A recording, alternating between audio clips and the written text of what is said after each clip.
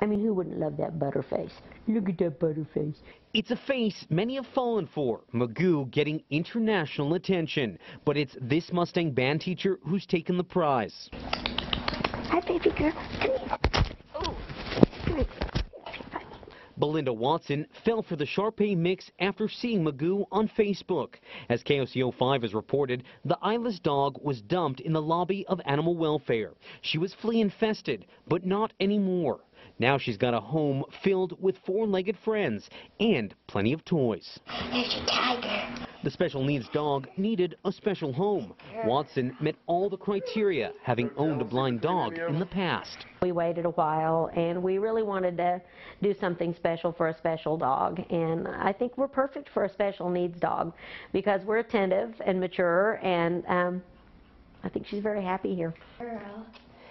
And you can see Magoo is still struggling to get around. Now, as for her eyes, they still remain a medical mystery, but her family says it doesn't matter. In fact, they say she's picked up some other gifts. The nose and the hearing, yeah, she will orient towards you like she's looking at you, but it's those ears and that nose. Yeah, she knows. Like if the cat were to walk through the room, she would hear just the cat paws on the tile. Magoo is definitely sensing the love, given a second chance in a caring home. We're all about diversity in the Watson house. Reporting on the west side, Dave Detling, KOCO 5 News.